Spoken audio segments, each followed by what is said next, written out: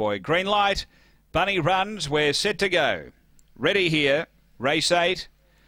And away, showing speed, hopes up, going to settle clearly in front of the favourite. Uh, mustering up, Shaka Khan getting to second. Lights Vision driving up on the rail as they swing around that first bender.